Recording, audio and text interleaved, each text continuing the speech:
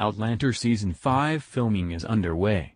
Not only has Matthew B. Roberts confirmed it but he's also confirmed an important role he's taking on for the first episode.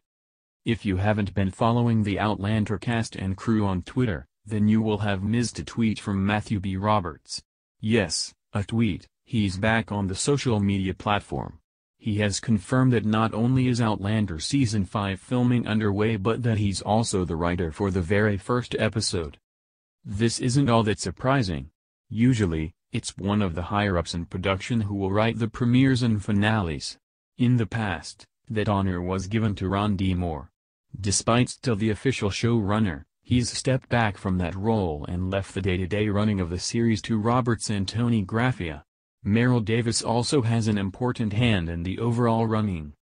So, with that in mind, it's not surprising that Roberts is the writer for the fifth season premiere.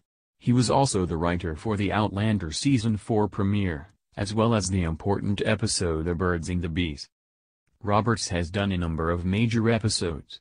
In Season 1, he crafted The Reckoning and he was the mastermind behind the second season finale. He also wrote All Debts Paid, A Malcolm, and many more episodes that are considered favorites by many fans.